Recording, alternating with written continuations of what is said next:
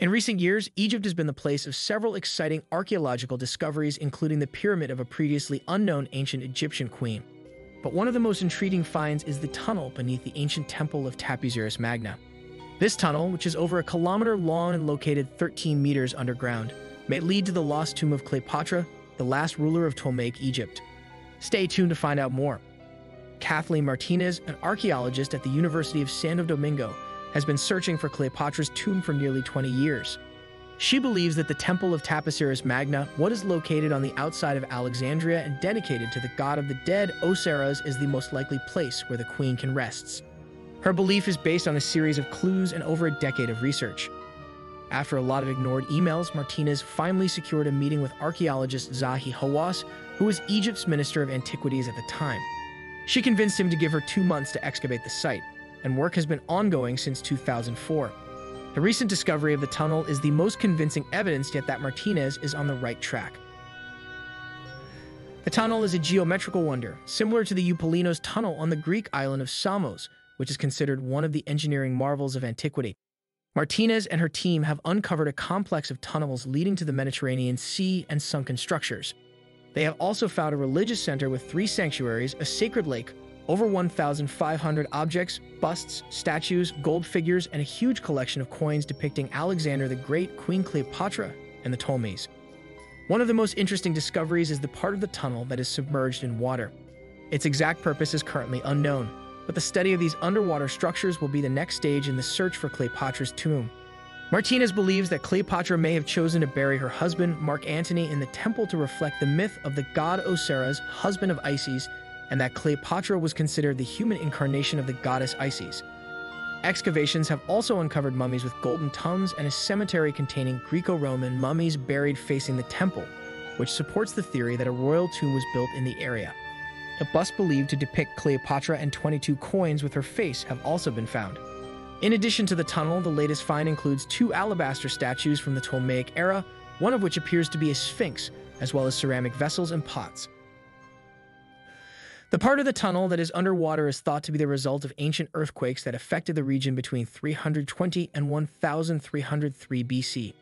These natural disasters may have led to the collapse of Taposiris Magna, Excavations so far reveal that the temple was dedicated to Isis, which Martinez says is another sign that the lost tomb is nearby, as well as tunnels under the sea. Now Martinez says she is at the beginning of a new journey, the underwater excavations ahead. The discovery of an unknown ancient Egyptian queen's pyramid has rewritten what we know about the history of the civilization. The team of archaeologists found coffins, mummies, artifacts, and a series of interconnected underground tunnels at the site located about 20 miles south of Cairo called Saqqara. The Queen's name, Nate, is not mentioned in any historical records yet, and the team has much work to do to learn more about her reign and history. The recent discovery also revealed that the coffins and mummies likely belonged to some of King Tutankhamun's closest advisors and generals. The boy pharaoh ruled from 1333 BC to 1323 BC, and the discovery of his intact tomb in 1922 made headlines around the world. Additionally, during these excavations, the team also examined a nearby pyramid belonging to the first king of the sixth dynasty of Egypt named Teti. Teti was revered as a god in the New Kingdom, and many wanted to be buried near him.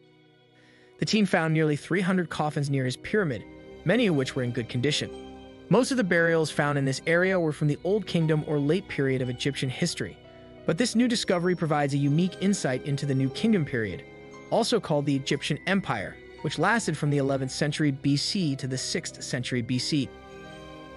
In another discovery, a team from the Spanish University of Malaga and the University of Jaen announced the discovery of the oldest tomb in Egypt, which is oriented towards the sunrise during the winter solstice.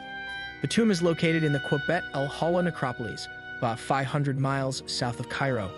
The entrance to the tomb is oriented exactly towards the sunrise, and every year on the shortest day of the year, the sun's rays cover the place intended for the placement of a statue of the governor of Elephantine who lived around 1830 BC. The tomb was probably built by Governor Hekaib-ankh and was excavated between 2008 and 2018. These recent discoveries have shed new light on the sophisticated religious and technical knowledge of the ancient Egyptians. The winter solstice was significant to the ancient Egyptians, symbolizing the beginning of the sun's victory over darkness, and the summer solstice usually coincided with the beginning of the annual flooding of the Nile River, Both events contained important symbolism related to the resurrection of the deceased. The tomb of the governor from Qubbet el Hawa can be considered the oldest private funerary project in which a perfect alignment between the solstices was achieved, indicating the presence of individuals with highly sophisticated religious and technical training, even in provincial courts such as Elephantine. Overall, these discoveries have provided a glimpse into the rich history and culture of ancient Egypt, and it is clear that the work at Saqqara is far from over. There is still much to be discovered and uncovered, and the history of this civilization continues to be rewritten with each new discovery. It is exciting to think about what other secrets and surprises the future holds for Egyptology and the study of ancient civilizations. Ancient Egyptians believe in the afterlife and the idea of rebirth and renewal. They believed that the soul of the deceased would live on in the afterlife, and that the tomb and the mummy were crucial for this process.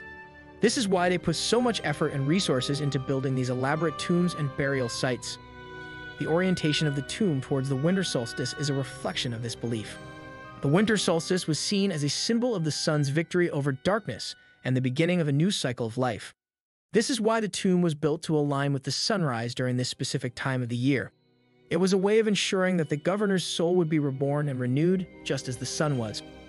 Furthermore, the use of advanced architectural and astronomical knowledge in the construction of the tomb also reflects the sophistication of the ancient Egyptians. The fact that they were able to calculate the position of the sun and align the tomb accordingly shows that they had a deep understanding of the natural world and the workings of the universe. In conclusion, the discovery of the oldest tomb in Egypt, oriented towards the winter solstice, is a significant find for archaeologists and Egyptologists. It provides valuable insights into the religious beliefs, practices, and technological capabilities of the ancient Egyptians. It also adds to our understanding of the importance of the afterlife and the concept of rebirth and renewal in ancient Egyptian culture. The ancient Egyptians had a deep understanding of astronomy and the movements of the sun. This was evident in the significance they placed on the winter solstice, which symbolized the victory of light over darkness as the days began to grow longer. The summer solstice, on the other hand, coincided with the annual flooding of the Nile River, an event that was also steeped in symbolism related to the rebirth and resurrection of the deceased. One notable example of this is the tomb of a governor catalogued as No. 33, which was probably built by Governor Hekaib-ankh. The tomb, located in the Qubbet el Hawa necropolis, was excavated between 2008 and 2018 and is believed to be one of the oldest examples of a tomb oriented towards the solstices.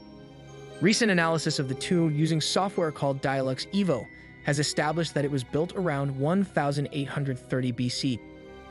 The precise orientation of the tomb towards the winter solstice sunrise, as well as the positioning of a statue within the tomb, demonstrates the advanced religious and technical knowledge of the individuals responsible for its construction. This discovery is particularly significant as it is the oldest known example of a private funerary project with perfect alignment to the solstices, indicating that even in provincial courts such as Elephantine, there were individuals with highly sophisticated religious and technical training. While Tomb No. 33 from Qubbet el Hawa is the oldest example ever discovered, it is by no means the only one. The team that made the discovery believes that there are likely many more examples of similar tombs waiting to be uncovered, providing further insight into the rich history and advanced knowledge of the ancient Egyptians. What do you think of this video? Let us know in the comments below. And most importantly, if you wish to be updated about more history viral videos, you should consider to subscribing to our channel and pressing the bell icon so we can make more videos for you. Also, thank you for watching the videos and we will see you in the next video.